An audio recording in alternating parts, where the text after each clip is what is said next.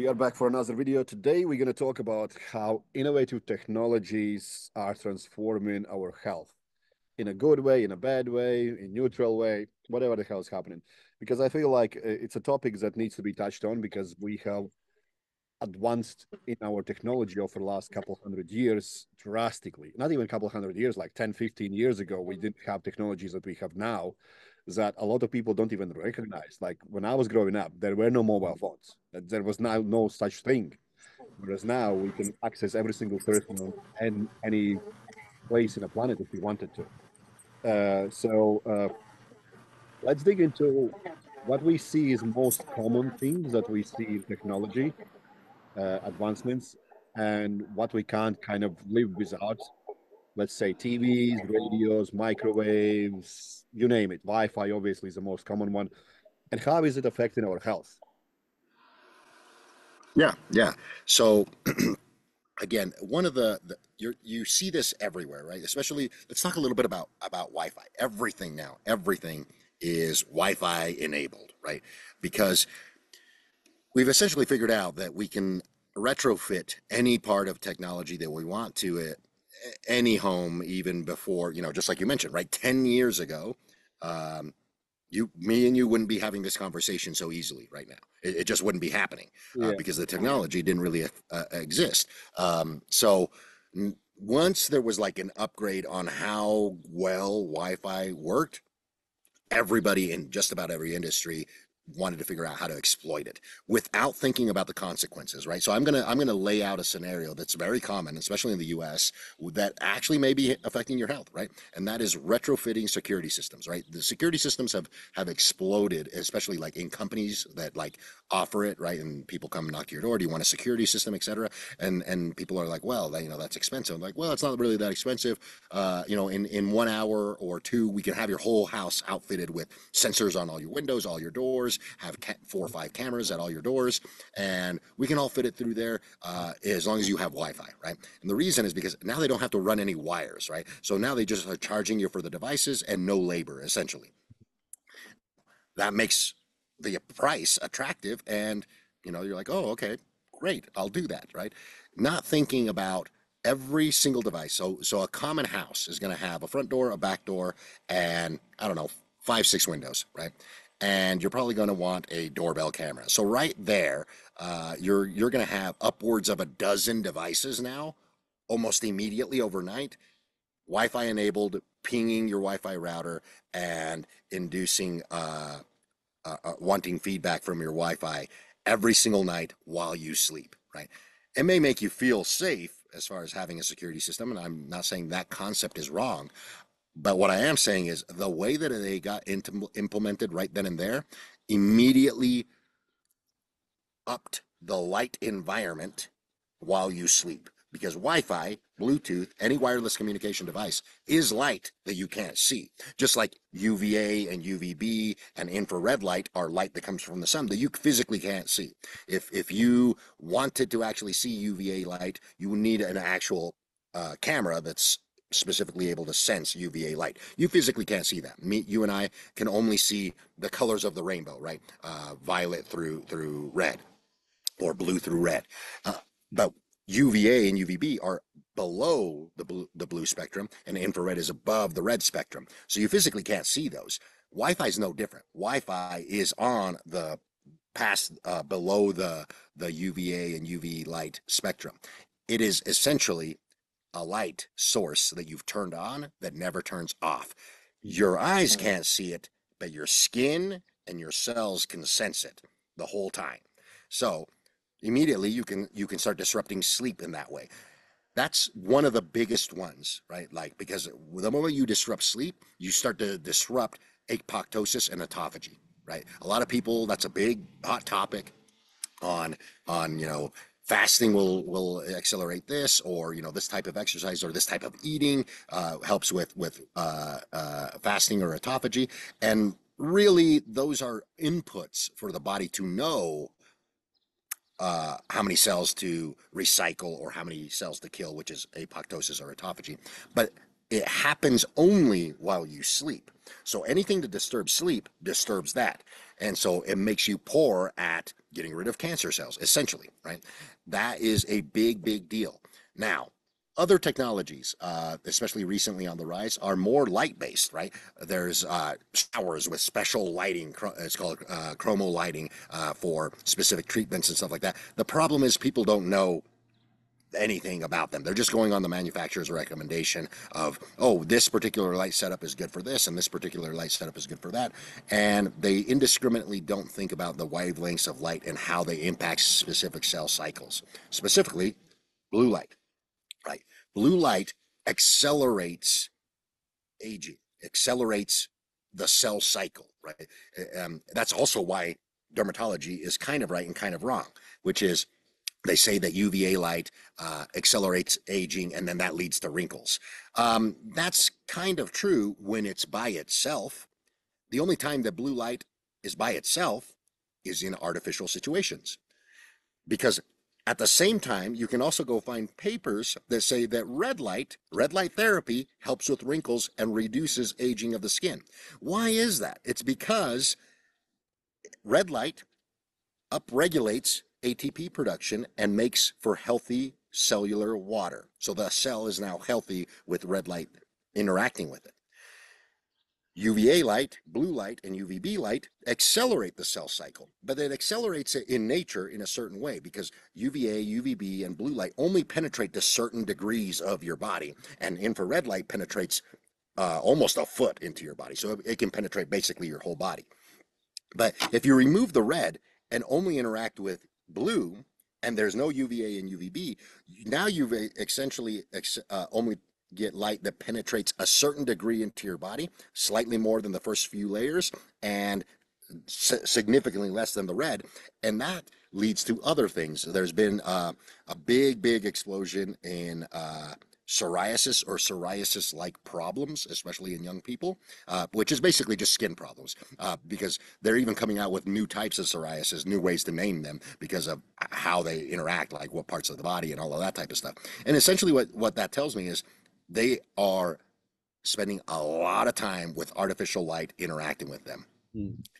Give in mind, the reason why I opened with the Wi Fi is the light doesn't have to be visual light, it can just be artificial light artificial light of any means, any kind of um, wireless communication device can induce this effect and start making changes at the skin level. For example, psoriasis, as it's stated in the books, is the growth of the mid layer of skin faster than the upper layers of skin. The reason for that is because the upper layers of skin aren't getting stimulated by specific wavelengths of light, specifically UVA and UVB. UVB being the dominant source. We know this for a 100% fact almost 100 years ago, a little over 100 years ago, in the early 1900s, they already knew this. They already had a treatment for psoriasis, and that was UVB light specifically. They knew they knew so much about it that they knew exactly the nanometers of light, the exact uh, frequency of light, and it's 310 to 312. They even still they still make lights for it, but it's not a popular treatment. It's definitely not recommended to you by your doctor, and it's certainly not recommended to you by your dermatologist because they believe that UVB light damages your skin. But they don't understand that your skin and your whole body is layers, right? Specific layers of your body are operating at a different uh, time scale than others, right? Uh, just like the universe, right? The time, right? One day on Mars is not the same as one day on Earth because the distance is different, right? It's no different than the distance of the top layer of skin to the distance of the bone in the middle. To, to me and you, that looks like inches, but at the cellular level, that's miles, that's hundreds of miles apart. That means that there's going to be a completely different time scale at different layers just from the top layer of skin on your forearm to the middle part in the bone right here when it when it comes to all the cells involved there. So how do they keep in sync? They keep in sync because short wavelengths that are going to interact at the top layer are way more powerful. They deliver way more energy. And longer wavelengths that penetrate much deeper are uh, more powerful in a sense of they move more mass, but they're not as powerful in the terms of the radiation that they deliver. So that's why biology on this planet develops and grows in the manner that it does because it's been grown by sunlight, all of it plant matter, is the first life forms on this planet and they grow by sunlight. And all other more complex organisms that eat the plants also develop and grow through the same stimulus. So back to the psoriasis story if you interact with a lot of artificial light and you never get any uva uva and uvb light on your skin the first layers of skin which is where uva and uvb light interact and they don't penetrate much deeper than that that skin is never receiving the proper timing to grow at the correct rate. Because aging is not let, us put it this way if you're permanently seven years old that's a bad thing right? You're always going to be young you're underdeveloped right? So if you if the skin cells on the surface never get uva and uv light they don't age properly right? Aging is not bad right? Like the, the term aging especially when it comes out of a dermatologist or being pitched to women about how to take care of their skin. You don't want your your skin to age. I'm like, no, you want it to age. You want it to age appropriately because if it doesn't, you end up with a certain problems like psoriasis where the middle layer of skin is growing at the at an accelerated rate and the upper layer of skin is growing at a decelerated rate because it's not receiving the right inputs from light. So now you end up with psoriasis or other other problems with like uh, especially at openings like orifices uh, like your eyes and things of that nature. You'll have skin that grows uh, basically inadequately. It's growing at different layers are growing at a rate that's not proper to other layers because it's not relieving or it's not receiving uh, full sunlight spectrum. This brings me to kind of like uh, something I have noticed a lot that a lot of girls uh, have this like a, a puffy look over their eyelids and from what you are explaining it might be because they are waking up they are getting their ring light or whatever the hell there is that they use to kind of treat their faces, makeup and whatnot. It's a very popular thing to do. And when they put that makeup on, they go outside, they don't get that correct light interaction. And to me, it almost brings back memories to when I was growing up, and technology in my country was way behind any other country because we were just separated from Soviet Union. Women rarely wore any makeup. Mm-hmm. There have been like these uh, surveys. They're classed as top three best looking women a, on a planet without mm-hmm. wearing any makeup. Whereas now I go back home and I start seeing that they are kind of more inclined into getting more makeup and this and that. And then they don't look anywhere near as healthy as they used to look like. Could that be linked to advancements in technology and misusing technology and kind of getting away from exposing themselves to nature as much?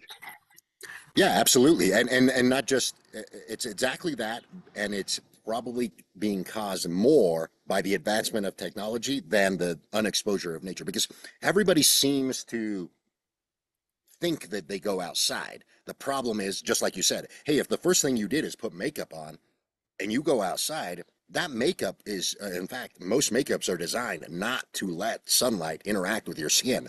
That's the whole point of, of a lot of them. They, um, I, I would say that almost 90% of makeups have some level of UV protection built into them, whether you know it or not, uh, because of the, the, the particular um, metals that they use in them uh, as far as so even if the makeup doesn't say it has UV protection, it has some re- reflectivity that does not allow UVB and UVA light because UVA and UVB light cannot penetrate your body very much. It's literally millimeters, right? So if you have anything on the surface of your skin that's going to mess with that, you're not going to get that proper stimulation on those first layers of skin.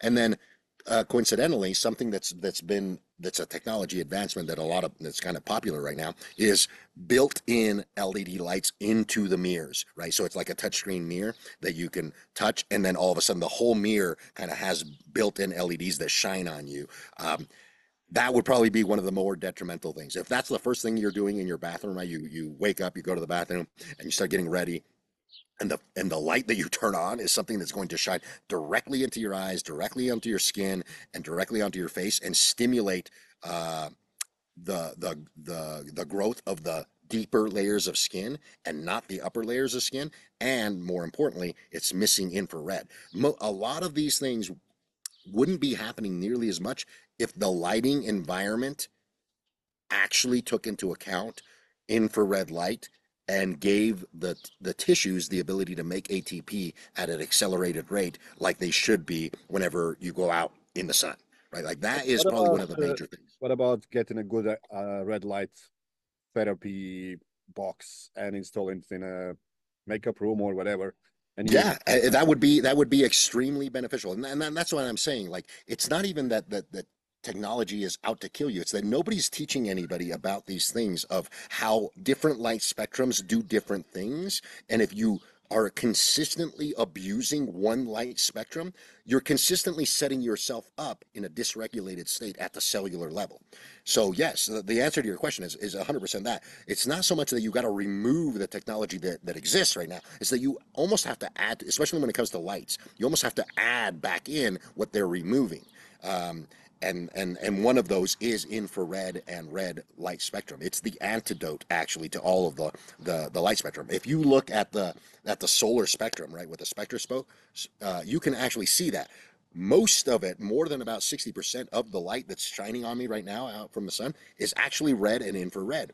The rest of the 40% is the combination of the other uh, rainbows, uh, colors of the rainbow, and a little bit of UVA and UVB. So out in nature, you get maybe 20 to 30% of blue and UVA and UVB, and the other 70 to 80% are red in, in, in dominance, red and infrared.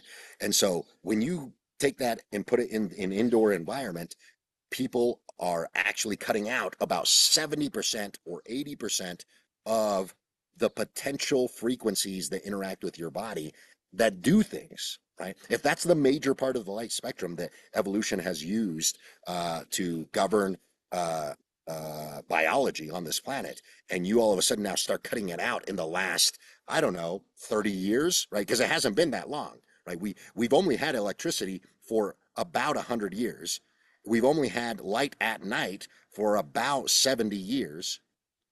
And most of that time in the last 70 years has actually been still with infrared light because incandescent light bulbs put off red and infra, infra uh, infrared light. That's why they get hot. in my countries, they probably changed around 15 years ago.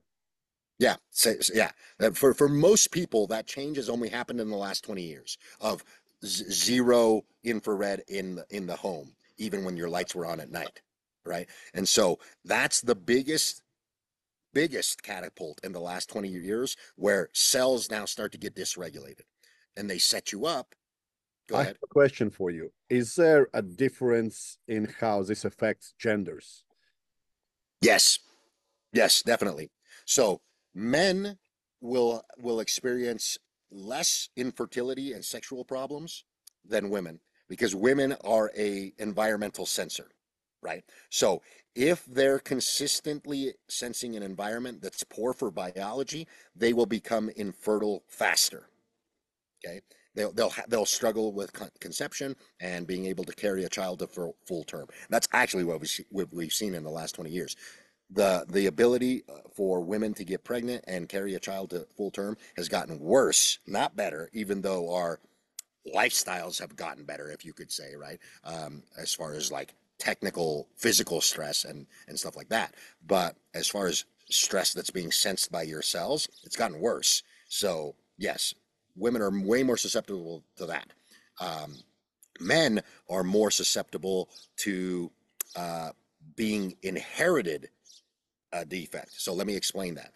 Your mitochondria comes from your mother. My mitochondria comes from my mother. Right. So men start to see an explosion of they are born with an illness or a genetic defect, and women start to be the infertile ones because of how that works, right? So women that do carry a child to full term and full and and, and you know pass on their their genetic makeup to to the next generation, that generation gets born with defects much more prominently, and men tend to take the brunt of that because we only have our mitochondria directly from our mothers, whereas females um, will also get their mitochondria from from their mother, but they also have two X chromosomes, so they they end up being um, a little bit more susceptible to just carrying on without the the, the genetic mutation at birth.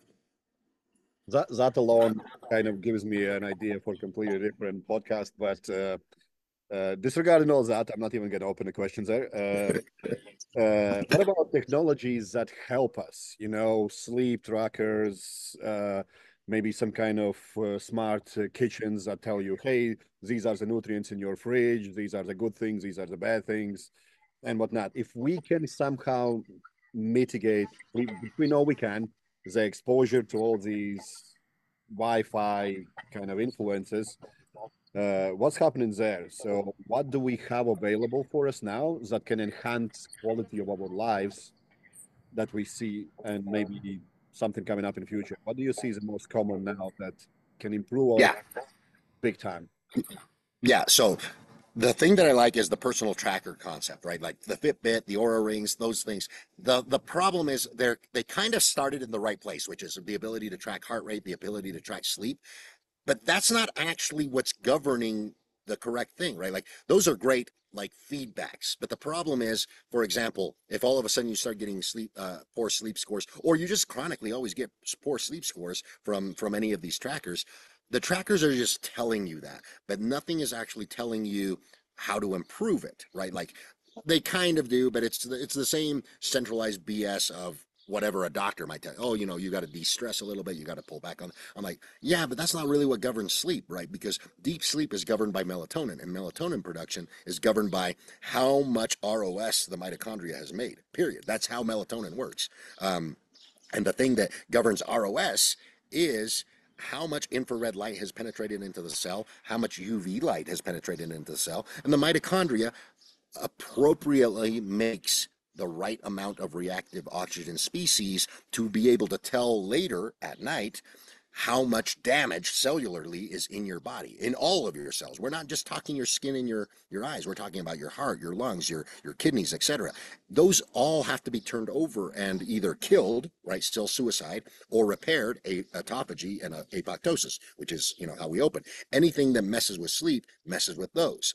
So anything that improves sleep improves those so the what i would like a tracker a future device would be something that actually is able to tell you how much UVA, UVA, UVB, and infrared light have actually interacted with the surfaces on your body.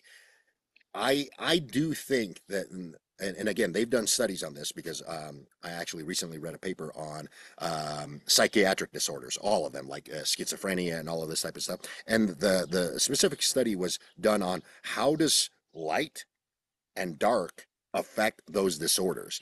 Now, in that, uh, uh, you know, the, the the outcome was actually quite stunning. Um, I'll briefly explain it.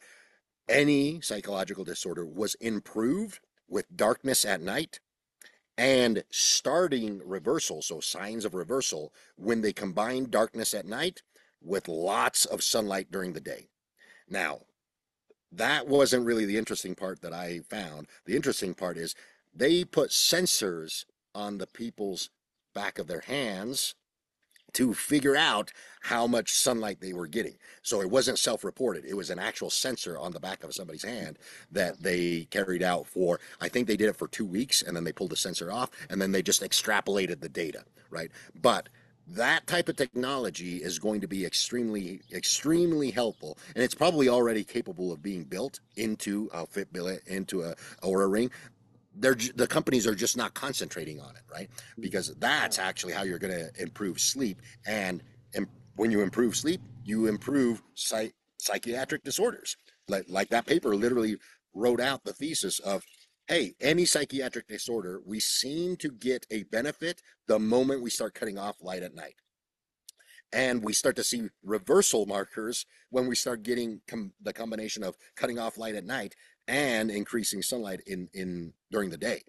Um, so those types of devices, I, I think they already are capable of doing it. It's just a matter of including the sensors in them and then teaching people how to read that. Like that's a beneficial thing. That's not really going to happen until until you start uh, convincing uh, people that sun is is not a bad thing, right? Like that's when people will seek out these types of technologies for sure. Now, other now technologies in your home, right? Like you mentioned, like like a, a scale that tells you the nutri, you know, you type in, oh, I'm, I'm weighing, you know, broccoli, you know, and you put, you know, 100 grams of broccoli in there, and then the skin, the scale spits out the micronutrients and all that. Those are awesome. Like I don't think that there's anything wrong with those. I just think that those are kind of majoring in the minors uh, for something that's going to do much more for you if you are if you have metabolic problems right? If right. if you're already very fit if you already do a lot of the things that we talk about yeah those types of things like a, a scale with with uh, nutrients spit out and stuff like that those are those are going to be extremely facilitating right? That's what they're doing. They're facilitating the things that we already do getting good nutrition getting good uh, activity outside and stuff like that. But the activity outside and getting the right environmental stimulus that's lacking for the for the general population that is one of the major things. You touched up a little bit on emotional kind of side, and what uh, kind of interests me is there some kind of things that we can create at home that can improve our mental well-being because we know everyone is stressed out and whatnot. And in previous episodes, we touched about a little bit on human resilience and whatnot. Is there something that we can create in a house where we play around with sounds, lights, and whatnot to de-stress us? Yes, absolutely.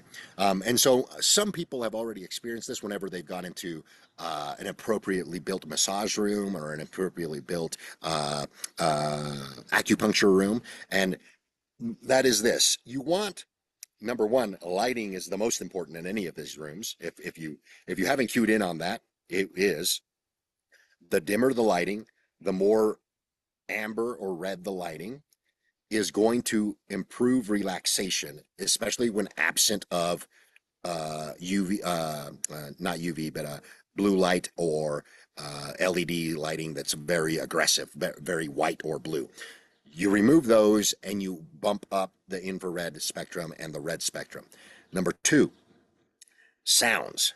Water water sounds are extremely soothing to the human body because they have to do especially if it's real water like a real uh, it doesn't have to be big just real water that's falling actually creates uh, an electron flow at that current environment because water donates electrons. So, you know, uh, it does, like I said, it, it, can be literally a small water fixture, you know, that's just dripping water that you can hear in the background. That goes a very, very long way and uh, aromatherapy. Uh, aromatherapy in terms of smells that you would normally smell in nature, pine, uh, uh, what's a, another popular one? Mint, things of that nature, things that are uh, any citrus smell is also going to be beneficial. And the reason for that is because those are smells that, and and we actually haven't really talked about this. Smells are not uh, how would I say, like a lock and key mechanism. Smells are actually a frequency, just like hearing is, just like uh, touch is. Touch is a frequency. You're you're going to be interacting with specific frequencies when you induce the correct sounds and the correct smells combined with the correct frequency of light. Those are the three things that I would say you can cue in in uh, immediately. That's very low hanging fruit. That doesn't take any anything really special. Um, anybody could put this together with just by going to a uh, a, Walmart and, and getting a small water attraction, getting some some uh, different colored light bulbs, and then some some scented oils. Right, that's very low hanging fruit. Make a room for de-stressing that. Now, in terms of you live in the city and you uh, you know you're, you're just don't get good sleep right things of that nature that i would get into is making a room in your home that's actually protected from the external environment and can potentially be regulated um, temperature wise, meaning that you can make it very cold right? Now, as far as like protecting it from the other environments uh, or from all environments, uh, that's actually a lot simpler to do because we already know how to do that. Um, any imaging center, right? Like if you go to a center that does x-rays and MRIs and stuff like that, those walls, the drywall specifically is special. That drywall has lead lining, right? So it's a lead line drywall. So it will not let x-rays or anything penetrate through that wall um, it's a little bit expensive but it's readily available. It's commercially available. Anybody can buy it. Um, and that's actually what i'm employing in my mechanical room in my home. So my electricity that's coming into my home my my any any technology that's coming into my home, it's going to come into my mechanical room. My mechanical room will have all the walls lead line drywall and the up the the upper part lead line drywall. So any of the electromagnetic field in that mechanical room cannot expe- escape that mechanical room. You can do it in reverse, right? So you can build a room that doesn't let anything in. So now you can walk into that room and it's completely quiet in terms of electromagnetic field footprint, and then you design it with a little bit of special lighting, a little bit of of uh, uh, therapy and things of that nature, and bonus points if you ground that room, the the whatever you're walking on in that room, that would be the biggest bonus points because then at that point you're grounded, you don't have any electromagnetic field inter- interacting with you, and you input the things that you're missing. Uh, infrared light, for example, uh, having a small infrared panel in there, uh, having some some water therapy and aromatherapy going on, that would be the ultimate relaxation room where you can quiet every input that cells are paying attention to and actually input the ones that you really want. Can you overdo the infrared? Um, from artificial sources, the answer would probably be yes. The way I'm looking Uh, at it, if somebody is listening to this and they own a place where they treating people all the time, and they might end up spending there like six, seven, eight hours at a time. Yes, you you yeah yeah I see what you're saying. Yes, yes, you can overdo uh, infrared therapy when it's coming from an artificial source. The reason for that is the same reason that we opened this up, right? There are other frequencies other than the infrared from sunlight. If you only isolate one, then you're going to end up with another problem, right? And and we kind of know this from a nutrition and fitness uh, perspective as well, right? If you only eat steak, you're going to run into an issue eventually, right? Like I I know that that's a big thing right now, but you will run into an issue. There, there- there's no doubt about it. If you only ate meat, you'll run into an issue. If you only eat plants, eventually you run into an issue. Um, it's it's no different in this. Uh, so so in terms of of these people, uh, you know that that work in these facilities that for treatment and stuff like that, or or build us a facility, kind of like what I'm talking about. Could you get too much? Yes, the answer is you probably could, but it would take much longer, much longer than you would think, because the infra, the spectrum from sunlight is so dominant in red. Um, but the, the real issue would be the intensity. That's why I'm saying from a, from an artificial standpoint, an artificial red light standpoint, they're designed to be very intense because they're trying to be a therapy box, right? A therapy light. So that um, all you would do is turn down the intensity, and then you probably wouldn't run into an issue. For example, something that I'm doing in my home, uh, my my normal lighting is actually going to be uh, uh, like a retrofit incandescent light bulb. You can't really buy a lot of incandescent light bulbs right now, but they are coming out with uh, LED and ballast hybrid. Ballast meaning it's a it's a element in the bulb that heats up and creates heat and creates infrared light. So those are the lights that I'm going to have in my home. I can have those on. They're very low. They're not that intense, right? So you can have those on all the time and be completely fine. I'm basically adding in the infrared spectrum to an LED light bulb um, to those. So an infrared therapy box is something I probably wouldn't have on all the time, uh, at least not for you know six seven hours like you mentioned. But an hour or two, you're probably not going to notice a, a a big a detriment um, unless you have it right, you know, six inches away from you. I, I wouldn't recommend that because it's too intense. Um, So, uh, following up on all this, uh, what about some technologies that we can use to enhance our energy efficiency? Maybe you know, like we have these Wi-Fi controlled uh, thermometers that we can control heat in our house and whatnot. Is there anything that we can kind of see and use in our advantage to improve that, improve energy efficiency of the house, maybe even water supply, saving some water here and there, and so on and so forth? Yeah, so the, the biggest thing is, uh, you know, everybody's trying to build net zero homes, or, or they're not even trying to. They're they're being told to by governments. Hey, the next generation of homes need to be net zero so they can be very very energy efficient and those types of things. I don't necessarily see a problem with that. The problem is too much isolation, like to the point where you're now not even be able to be grounded properly in the home, and uh, some of that also involves the windows themselves being ultra filtering. In other words, they only let blue light through and they don't let any infrared through so they don't heat up the home and things of that nature. Those types of technologies, I would say, they're great for energy efficiency. I'm not saying there's anything wrong with them, but you're going to need to find a way uh, uh, to allow proper UV spectrum and UV light into the home so that the more time you spend in the home because it's very comfortable, you don't neglect the infrared light and the UV light that needs to come in. A simple technology that already currently exists are skylights and sun tubes. Those let light into the home from above. The problem is nobody's talking about how the glass filters the light. Just changing just those lights, the glass in those lights, the skylights or the sun tubes, to something like quartz uh, will allow full spectrum sunlight through.